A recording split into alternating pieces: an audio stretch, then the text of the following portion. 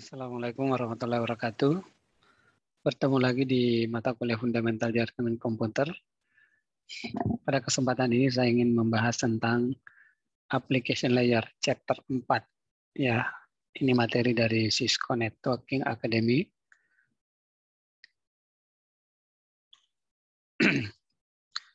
Baik, uh, tujuan dari pembelajaran ini yang pertama uh, menjelaskan bagaimana fungsi dari eh, layer aplikasi, layer sesi, dan layer presentasi bekerja bersama untuk menyediakan layanan jaringan kepada aplikasi end user. Kemudian menjelaskan eh, bagaimana protokol-protokol di layer aplikasi berinteraksi dengan aplikasi end user. Ketiga, menjelaskan bagaimana protokol-protokol di layar aplikasi menyediakan layanan internet kepada end user ya termasuk uh, World Wide Web ya www dan email. Kemudian menjelaskan protokol layar aplikasi yang menyediakan layanan pengalamatan IP ya seperti DNS dan DHCP. Lalu yang terakhir menjelaskan fitur dan operasi dari beberapa protokol di layer aplikasi yang terkenal ya seperti FTP, eh, file sharing service dan SMB protokol. Baik, jadi di chapter ini ada ada tiga sub pokok bahasan ya. Pertama protokol layer aplikasi, yang kedua protokol dan layanannya, lalu yang ketiga summary. Nah, kita lihat uh, kalau kita uh, lihat uh, apa namanya layer seven layer ya dari model OSI, kita tahu ada tujuh layer dimulai dari bawah layer physical, data link, network, transport, session, presentation, dan application. Oke, okay. jadi uh, kita sedang membahas layer aplikasi ini layer yang paling atas uh, di layer inilah uh, para end user ya pengguna-pengguna akhir ini end user berkomunikasi ya menggunakan uh, protokol di layer aplikasi. Apakah dia pakai handphone, pakai telepon, pakai laptop, pakai PDA dan sebagainya ya. Mereka berkomunikasi lewat protokol-protokol yang ada di layer aplikasi. Lalu kita lihat uh, padanannya dengan TCP/IP ya. Jadi OSI model itu ada tujuh layer, sedangkan TCP/IP ada empat layer. Network access itu berpadanan dengan physical layer dan data link. Internet berpadanan dengan layer network. Transport sama dengan transport. Nah, layer aplikasi di TCP, di TCP/IP itu berpadanan dengan tiga layer di DOC model, layer session, presentation, dan application. Oke, harus diingat itu. Lalu kita lihat untuk layer aplikasi, ya, layer aplikasi di OC model itu ada beberapa protokol di sini, ada beberapa layanan di sini ya. Protokol atau layanan ya. Protokol nih eh, ada DNS, Domain Name System domain name system, sistem penamaan domain ya. Ada HTTP Hypertext Transfer Protocol, ada Simple Mail Transfer Protocol SMTP ya, DNS, HTTP, SMTP, POP, DHCP, FTP, IMAP. Ya, itu beberapa protokol yang terkenal di layer aplikasi. Ya.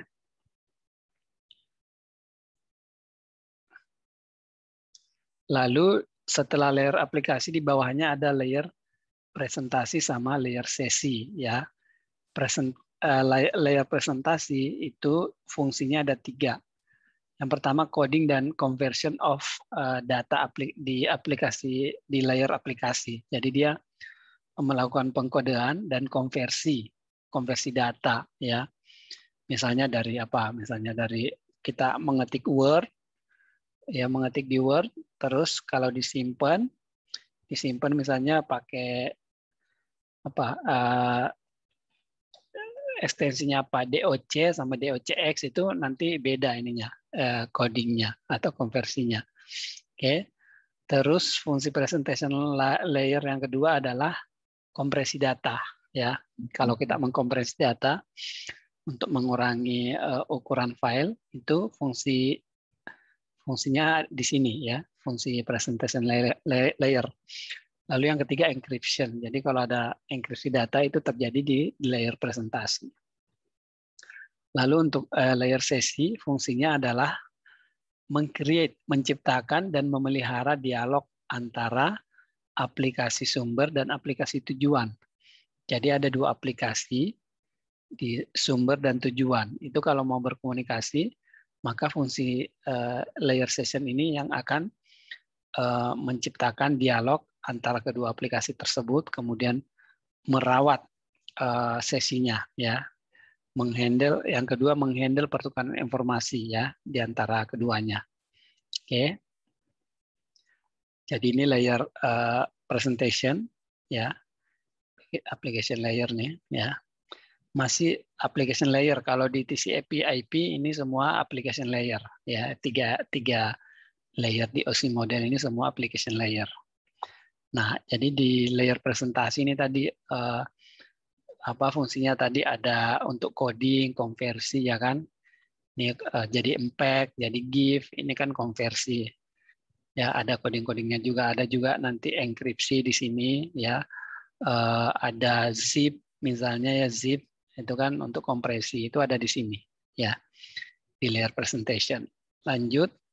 Nah ini beberapa ada beberapa protokol ya yang uh, di layer aplikasi tadi ada DNS ya uh, untuk apa namanya mencari nama mencari IP address dari sebuah alamat ya uh, se sebuah URL misalnya www.detik.com itu sebenarnya IP-nya berapa. Nah, ini yang mencari yang memetakan ya alamat URL dengan IP-nya. Karena sebenarnya ketika kita mengakses uh, suatu URL itu sebenarnya kita me mengakses uh, eh, IP sebenarnya. Cuma karena kita susah mengingat IP, maka diganti dengan uh, apa URL. Nah, sehingga perlu ada layanan untuk mematakan URL dengan IP, alamat IP-nya, yaitu DNS. Lalu ini ada telnet, ya ini protokol di aplikasi juga. Uh, fungsinya uh, emulasi terminal ya, jadi kita bisa melakukan uh, apa namanya remote session, eh, remote apa connection, remote access dengan dengan fungsi ini dengan protokol internet. Ada uh, boot TP, ya ini adalah pendahulu dari DHCP ya. Lalu ini ada DCP sendiri, DHCP itu itu untuk uh, mengassign IP address secara dinamis. Lalu ada HTTP. Uh, kemudian uh, ada FTP, ada TFTP. Bedanya apa FTP TFTP? Ya, kalau TFTP itu untuk connectionless ya. Ada SMTP, ada POP, IMAX. Ini tiga terakhir ini adalah untuk pengiriman untuk mail uh, surat ya. Kalau SMTP untuk mengirim, kalau POP sama IMAP untuk mengambil mengambil uh, suratnya. Kemudian nih layanan-layanan di aplikasi di layar aplikasi itu sebenarnya ada Eh, ada dua bentuk software atau program ya yang menyediakan akses ke jaringan. Ada aplikasi end user dan ada layanan layer aplikasi ya. Jadi aplikasi dan ada layanan. Kita lihat gambar di belakang. Nah, jadi ada aplikasi ya. di yang ada di di handphone kita, yang ada di laptop kita, misalnya aplikasinya apa? uh, aplikasi Gmail misalnya, kan Gmail aplikasinya. Nah, uh, ada services ya, yaitu layanan ya yang menghubungkan aplikasi dengan network itu services. Oke, bedanya itu aplikasi itu yang ada di uh, yang ada di perangkat kita. Kemudian ada service untuk menjembatani aplikasi ini dengan jaringan. Servicenya apa? Misalnya kalau Gmail berarti ada SMTP berjalan di sini ya. SMTP, uh, IMAP, dan sebagainya. Oke. Nah, uh, bagaimana sih uh, aplikasi ini berinteraksi dengan uh, pengguna, people, dan aplikasi lain? Jadi misalnya di sini ada people, dia berhadapan dengan komputer, ya mungkin dia mengetikkan apa gitu ya. Berarti ini ada software, ada hardware ya, yang di depan dia ini ada hardware-nya komputer, di dalamnya ada software, Eh, baik eh, software untuk sistem operasinya maupun aplikasinya. Aplikasi yang dipakai untuk eh, membuat message. Ya. Kemudian kalau ada message yang dikirim gitu, yang dikirim dari penerima ya melalui jaringan itu akan melewati Eh, layer-layer ini dari bawah ke atas. Ya, di sisi penerima ya, di sisi penerima sampai di layer aplikasi kemudian dibuka oleh uh, penerima ya. Masing-masing layer memerankan uh, perannya masing-masing ya. Di layer fisik apa yang dilakukan, di data link apa ya masing-masing. Oke. Nah, uh, aplikasi berinteraksi dengan aplikasi uh, lainnya itu ada dua uh, jenis ya, ada peer-to-peer network dan ada uh, server uh, client, client server. Jaringan peer-to-peer artinya uh, perangkat yang berkomunikasi tersebut uh, perannya nggak nggak nggak ter nggak tertentu ya nggak terbatas. Artinya uh, dia bisa uh, dia bisa menjadi klien bisa juga jadi server ya. Misalnya kalau komputer ini lagi butuh file yang ada di peer 2 berarti dalam hal ini uh, peer 1 menjadi klien karena dia yang butuh dia minta ke peer 2 peer 2 jadi server. Tapi di lain waktu nanti peer 2 butuh file di peer 1 berarti dia berubah jadi uh, klien, ini berubah jadi server. Jadi posisinya nggak jelas, klien atau server itu bisa bergonta-ganti. Nah, itu namanya peer-to-peer. Oke. Ada juga peer-to-peer application yang tadi network. Ya, aplikasi peer-to-peer itu artinya ini aplikasi uh, peer-to-peer nih ya aplikasi ini, tapi di dalam aplikasi ini ada klien dan server sendiri gitu ya. Jadi klien kliennya tidak terpisah dengan servernya. Kalau klien server tuh modelnya klien di sini, server di sana, ya. Tapi ini klien dan servernya ada di satu aplikasi tersendiri. Tapi aplikasi ini berhubungan dengan aplikasi ini, namanya peer-to-peer aplikasi application. Oke. Jadi eh, masing-masing aplikasi uh, perannya sama antara aplikasi ini dengan aplikasi ini. Ya. Dia bisa jadi klien, bisa jadi server, ya, itu peer-to-peer application. Oke, nah ini beberapa contoh dari peer-to-peer application. Uh, ada iDonkey, ini sebenarnya udah lama ya, aplikasi udah lama, mungkin udah umur 20 tahunan nih. Uh, tahun 2000 tahun 2000-an ya, iDonkey, Emule, eh, Share Aja, BitTorrent, mungkin yang sering kita dengar ya BitTorrent, Bitcoin. Oke.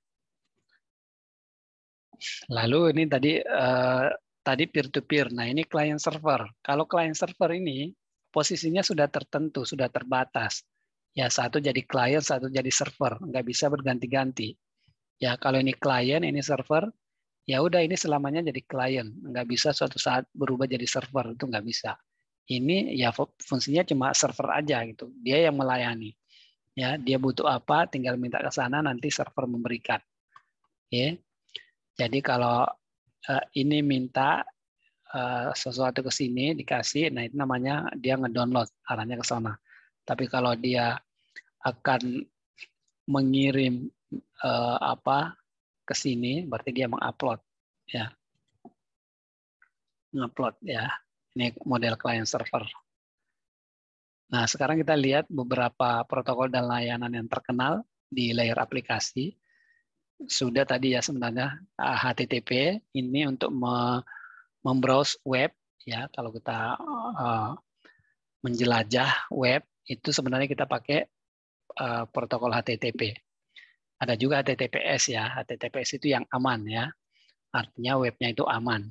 Dia menggunakan SSL sehingga komunikasinya itu di-encrypt. Kalau HTTP komunikasinya plain text sehingga bisa dibaca. Ya cara bacanya gimana? Ya bisa ditangkap lewat aplikasi-aplikasi uh, penangkap uh, traffic ya seperti Wireshark gitu ya. Anda bisa install Wireshark, kemudian Anda coba-coba uh, browsing ya, Anda capture di Wireshark lalu Anda analisis. Ada protokol SMTP tadi untuk mengirim email, ada protokol POP3 dan IMAP untuk mengambil email. Oke. Okay. Nah, ini ini contoh HTTP nih, uh, contoh URL ya, uh, menggunakan uh, protokol HTTP nih, HTTP www.cisco.com index.html. Nah, cara kerjanya itu uh, browser itu akan men akan menerjemahkan dulu URL ini ya menjadi tiga bagian di sini. Yang pertama dia terjemahkan ini HTTP ini sebagai protokol. Yang kedua ini ini adalah uh, nama servernya server name-nya ya. Lalu ini adalah file. Ya, file tertentu yang diminta. Jadi ketika seorang pengguna end user mengetikkan ini http www.cisco.com slash di di browsernya ya browsernya misalnya apa pakai Chrome atau Mozilla gitu ya sebenarnya browser akan menerjemahkan dulu ini menjadi tiga bagian protokolnya name servernya, ya nama servernya, lalu file, ya. Jadi yang pertama browser itu akan mengecek uh, name servernya, ya, untuk mengkonversi ini Cisco ini menjadi IP address, ya. Kemudian uh, menggunakan protokol HTTP, HTTP, dia akan mengirim ini uh, per, uh, perintah get, ya, get get request ke server untuk meminta file ini, file index HTML. Kemudian server akan mengirimkan kode HTML ke browser. Kodenya ya kode HTML eh, ada pelajaran sendiri ya HTML kalau Anda belum pernah uh, dapat Anda bisa cari banyak sumber untuk membaca HTML ya. Jadi dia akan mengirimkan mengirimkan kode HTML ke browser ke klien, kemudian browser itu akan mendecipher, meng, me, me, mendekripsi kode HTML itu sehingga kemudian muncul seperti apa yang diminta oleh klien. Misalnya apakah itu bentuknya jadi halaman web, ya seperti itu. Oke, lanjut. Nah, ada HTTP dan ada HTTPS ya. Saya sampaikan tadi HTTPS itu HTTP yang aman karena dia menggunakan SSL ya. Secure Socket Layer itu uh, untuk mengamankan uh, ininya ya. untuk mengamankan uh, channel. Jadi uh, message yang dipertukarkan antara klien dan browser itu akan dienkripsi ya ada pakai sertifikat di sana ya. Itu. Jadi bedanya HTTP dan HTTPS, HTTP itu plain text ya, pesannya dikirim secara plain text, kalau HTTPS secara terenkripsi. Sehingga lebih aman HTTPS. Oke. Jadi uh, misalnya kalau kita ketikkan seperti ini http www.cisco.com ya maka uh, browser di client sini itu akan mengirimkan uh, get ini nih ya ke sana server. Nanti kalau ketemu server akan mengirimkan ke sini. Ya jadi ada uh, apa get post put ya kalau get itu uh, permintaan klien ya untuk minta data ke server. Kalau post dan put untuk uh, mengir, apa, mengirim message yang akan mengupload data. Lalu ada SMTP dan POP tadi ya, SMTP untuk mengirim email ya dari ini nih, dari MOA ke MTA-nya, uh, mail user agent ke mail transfer agent. Jadi ibaratnya ini kalau klien itu kita mengirim email dari rumah kita, lalu ini adalah kantor posnya ya. Jadi kalau kita ngirim email, kita kirim ke kantor pos, nah itu pakai SMTP. Kalau surat datang ya uh, kita ngambil ke kantor pos itu pakai POP3 atau IMAP. Ya, IMAP itu. Ya, ini contoh topologi ya. Jadi misalnya di sini ini si sender mengirim email ke resipien ya. Dia kirim email ke sini. Itu prosesnya gimana? Dia pertama uh, pakai SMTP ya kan. Ini terkoneksi di internet ya, pakai SMTP ke uh, sini ke mail server dia di ISPA. Kemudian nanti uh, eh, SPA mengirim ke SPB. Jadi uh, analoginya ini saya ngirim dari rumah ke kantor pos. Ya, kantor pos mungkin kalau beda wilayah akan mengirim kantor pos eh, yang lebih besar ya. Misalnya kantor pos kecamatan, kantor pos kabupaten. Ya, itu baru sampai di uh, mana gitu ya. Uh, yang paling tinggi misalnya beda provinsi ya terus dikirim ke kantor pos provinsi lain, turun ke kantor pos yang lebih kecil lagi. Ya, seperti itu sampai di penerima. Nah, jadi pengirimannya menggunakan SMTP. Ketika sampai di kantor pos terakhir sebelum ke pengguna, itu pengguna mengaksesnya pakai IMAP atau POP3. Oke, seperti itu analogi sederhananya ya. Ya, jadi seperti ini nih. Uh, uh, ini rumah kirim ke kantor pos. Nanti kantor pos mengirim ke kantor pos lain sesuai dengan alamat uh, tujuan. Kalau misalnya dia di satu wilayah yang sama, ya berarti uh, dia tidak mengirim lagi ke MTA yang lain, dia sendiri. Nanti tinggal kirim langsung ke penerima ya analoginya seperti itu ya seperti ini kirim ke MTA ya dan seterusnya ya oke ini juga contoh-contohnya. Nah protokol lain adalah DNS domain name service. Eh, layanan penamaan uh, domain ya misalnya www.cisco.com ada .com ada ada .org, ada .au, .jp dan sebagainya. Ya, penamaan domain ini protokolnya adalah DNS.